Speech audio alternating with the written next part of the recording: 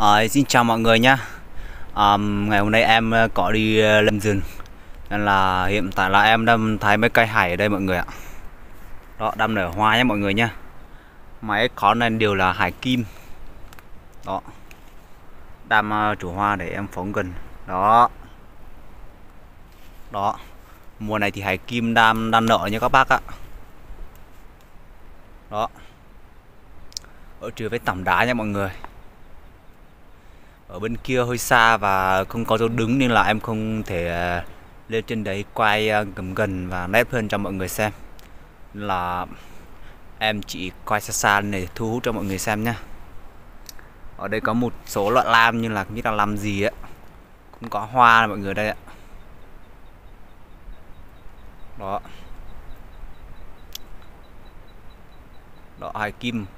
Con này rất là to nha mọi người con lại cực kỳ to. Đó một con đây.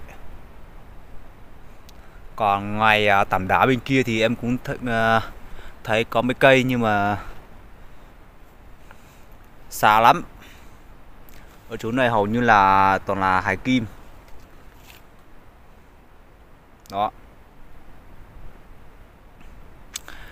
Ờ, mấy cái hải kim này chắc em cũng để lại thôi không lấy đưa về mọi người ạ do là em đi uh, hơi xa nên là em không thể lấy hết được.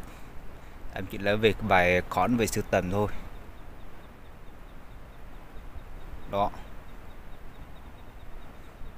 Nhìn rất là đẹp mọi người ạ. Hoa rất là to nhé mọi người nhá. Hoa cực kỳ to.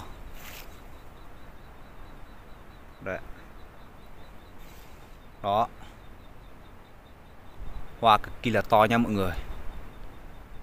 Rồi, con này là đẹp nhất này. Con này là cực kỳ là khủng với mọi người.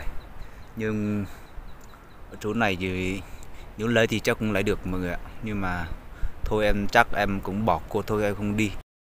Đây mọi người ở đây à, có một khu rất là nhiều hải kim nhé mọi người nhá. Đó đây ạ. Khá là nhiều hải kim.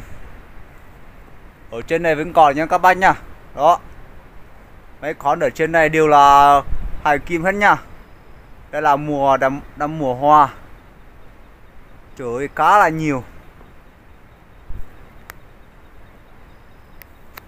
Đó có bắt nào à, cần mua thì à, liên hệ mình à, đặt mình, mình mới đi lấy lấy nha mọi người nha, bởi vì là mấy mấy à, này mình thấy rất là đẹp. Cực kỳ là to.